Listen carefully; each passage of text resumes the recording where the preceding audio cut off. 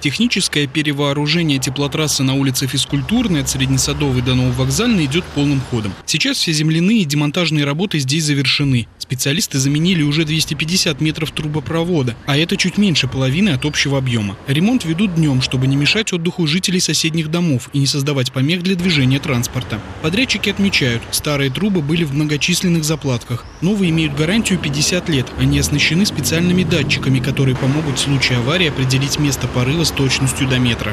Все работы ведутся именно к этому, чтобы максимально поменять старые трубы на новые. Потому что здесь участки старые, они с 84 по-моему, года.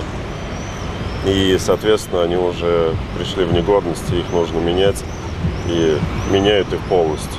Как идет процесс технического перевооружения, на этом и других объектах проверили участники штаба по подготовке города к отопительному сезону. Первый замглавы Самары Владимир Василенко отметил, что работы ведутся по графику. Материалов для ремонта тоже достаточно. Всего в этом году обновят 22 участка теплотрасс. Из 15 объектов, изначально запланированных к замене, некоторые уже отремонтированы. Сейчас подрядчики занимаются восстановлением благоустройства. На двух участках, на Артемовской и Алексея Толстого, работы начнут в ближайшие дни, как и еще на семи объектах объектах, которые будут менять благодаря переходу города к единой ценовой зоне. Дополнительные адреса выбрали городские власти вместе с ресурсоснабжающей организацией. Проходила диагностику, э, наличие, сколько труба пролежала. Естественно, если диагностика не прошли экспертизу безопасности эти объекты, ну, естественно, э, главенствующие это где порывы были.